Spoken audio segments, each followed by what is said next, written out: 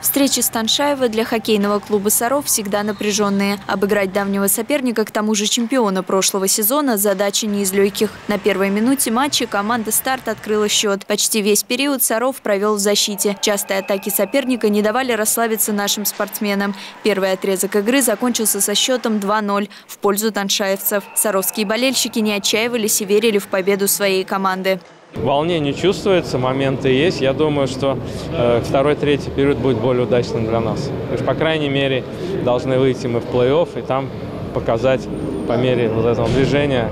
Э, ну, за, я, я думаю, что в этом сезоне за призовое место поборемся. Я так понимаю, что первая домашняя игра немножко э, скована. Я думаю, сейчас ко второму, третьему разойдутся.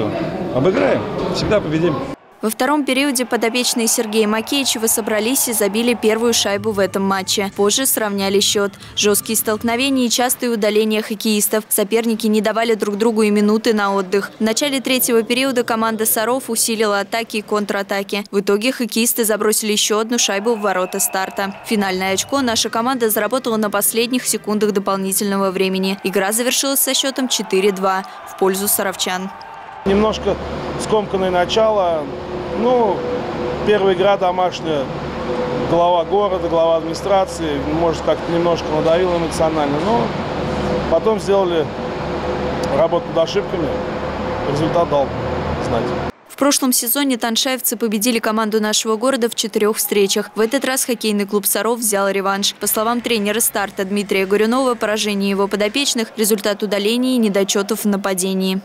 В течение игры было очень много нереализованных моментов. Выходов один на один и таких вот моментов, где надо было забрасывать шайбы. Вот это, я считаю, основная причина нашего поражения.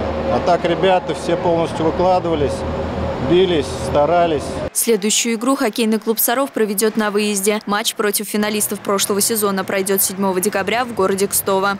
Дарья Козина, Артемий Глазков, Сергей Рябов. Служба новостей «Саров-24».